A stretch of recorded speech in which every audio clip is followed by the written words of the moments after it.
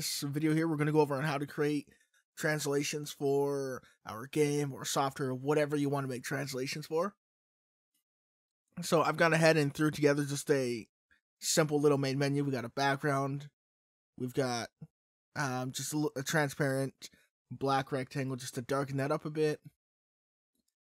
And we got where, you know, whatever you would have for your title of your game. And then I've got a drop down menu here, an options button. And that just has a few items in it. As you see here, I've just added one for English and one for Spanish so we can change our language. Now, in most games, you would probably have this inside of your options menu somewhere. And if you're doing this as a software, you probably have it inside for settings or preferences, pop up or something. So, however you want to do that, just make sure you have that set up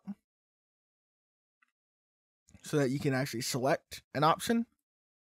And I've just gone ahead and connected a signal in my case for on item selected for my options menu here. All right, and then I've got my three blank buttons here, one for new game, one for options, one for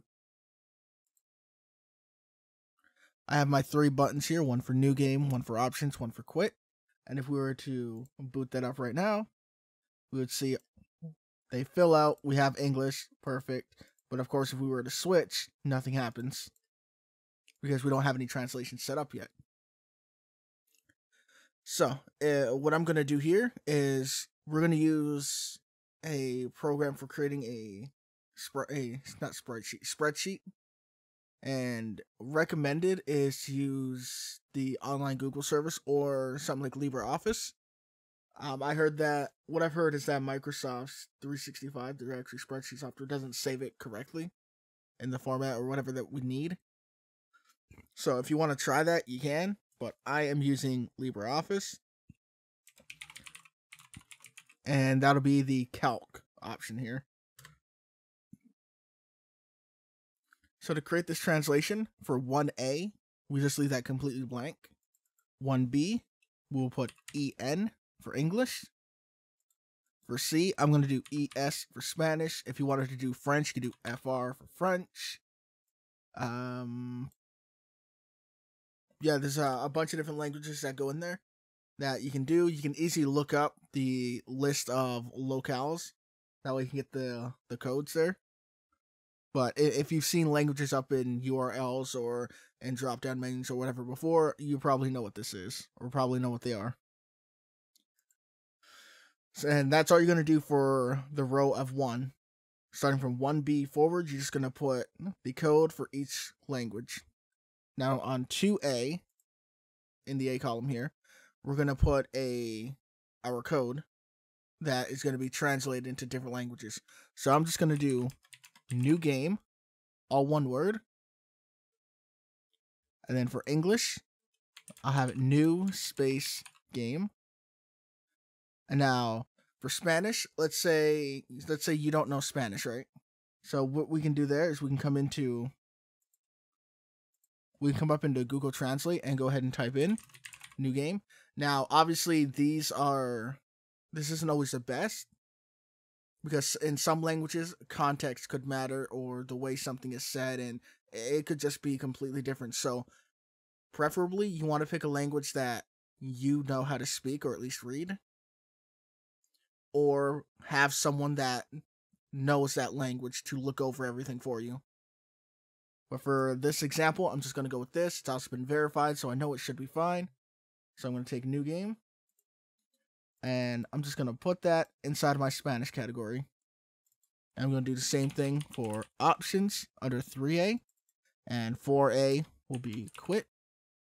I'll put the English translation of options and quit. And then I'll go ahead and just get my Spanish options here for my translation and quit.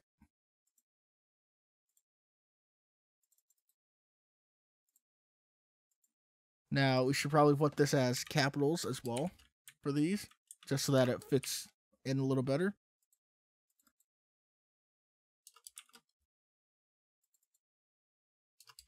There we go. Now, once you're done adding in as many translations and keys here that you want uh, to translate, column A, 1A, you can leave blank. It doesn't matter. Then 2A, 3A, 4A, 5A, 6A, etc., all the way down will be all your keys for translating. So, an example you could put here is menu items or dialogue. Our B column here, B1, is going to be your language. The language code, B2, 3, 4, 5, etc., all the way down, it's going to be your English translations.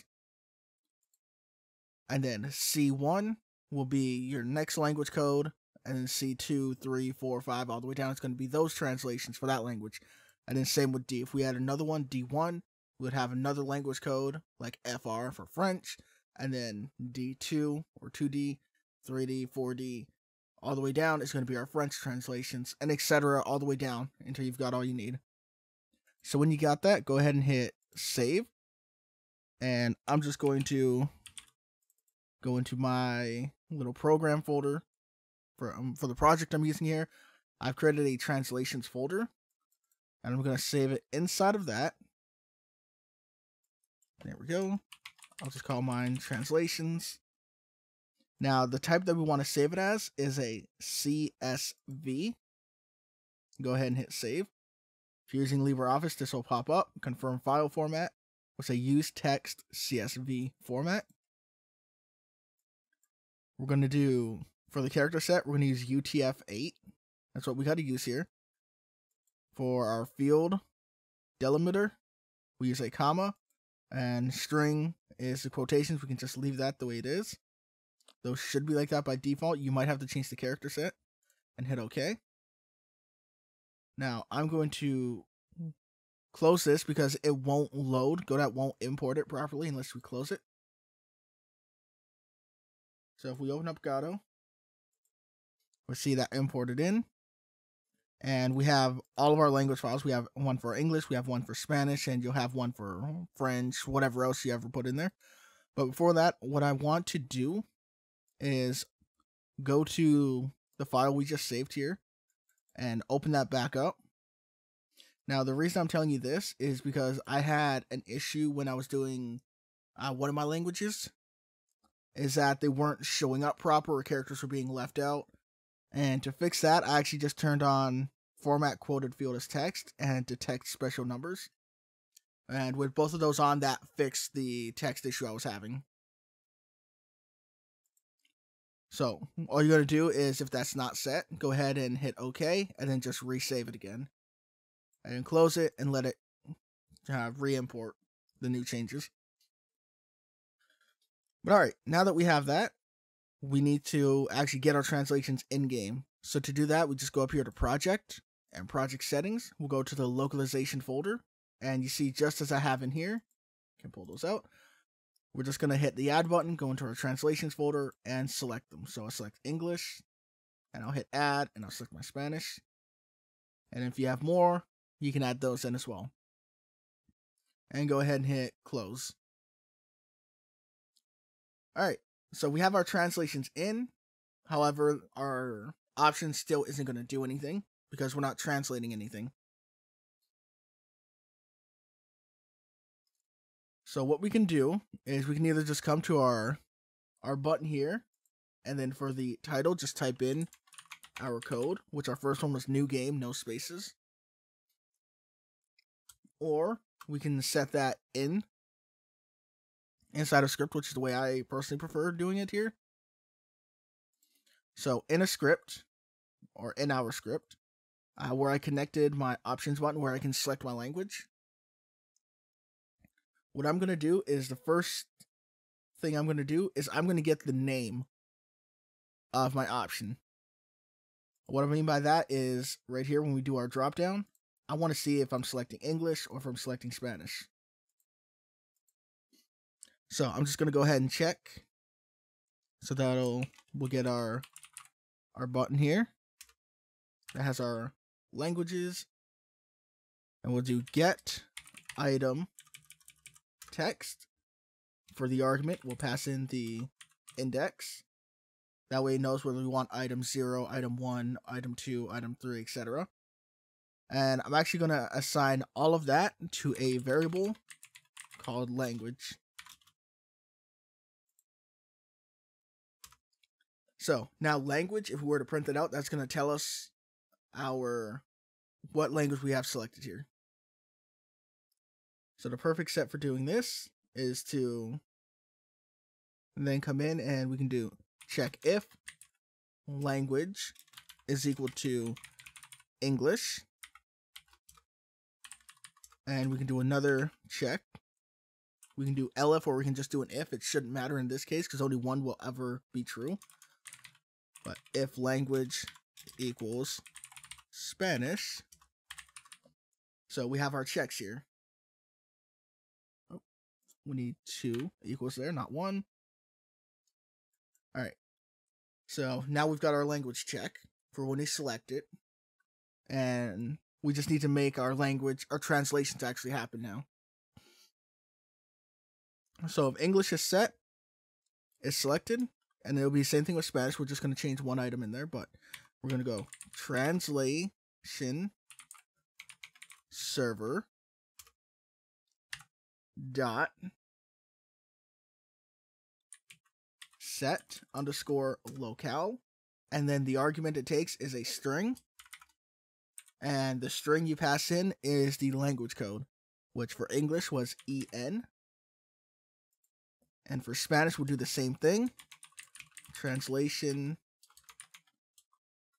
server dot set locale where our code will be ES. Awesome, that's great. So if we hop in, we can take a look. And our text here is changing automatically for us. That's perfect. Now, the reason that is translating already is because the item I set here is to our um is our code item. Same thing I had for my code. But you see, if I had a space in here, we don't have that code and new game won't actually change now. Now, I'll say if for some reason this isn't translating over and you've double checked the spelling and it's all in there, then what we're going to what you can do is just wrap this in a translate function like that like so. And that should force it to translate into the appropriate language. But that's it. That's all we have to do there for that to work. And just like that, we have all we have our languages set up. So if you ever add another language in the future, you'll just come in and you can just add another check. If language equals, uh, let's go with, let's go with French. Let's say we added that. And then we just do translation server dot set locale French. And then, of course, inside of our actual menu here, we would add in French. And of course, make sure you have that added into your actual spreadsheet as well with all your, all your other translations. And just let it import in, add your new language into your project. And there we go.